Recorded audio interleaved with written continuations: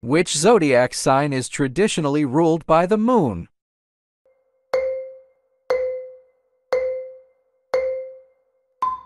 A. Cancer.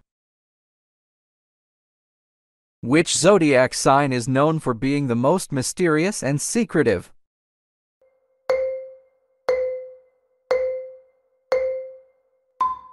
A. Scorpio.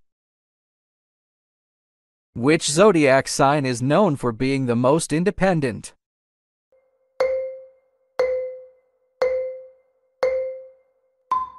C. Aquarius. Which zodiac sign is associated with the 12th house in astrology?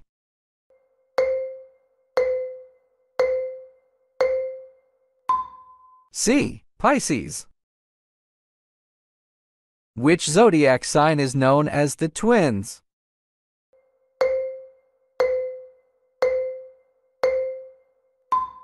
B. Gemini.